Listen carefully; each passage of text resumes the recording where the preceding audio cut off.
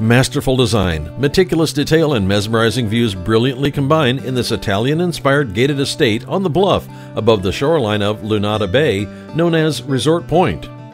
Disappearing sliding door systems connect the patio and infinity pool areas with the living, dining, and master suite. Additional features include a gourmet chef's kitchen, wine cellar, bluff top putting green, gym, sauna, and over 200 feet of oceanfront.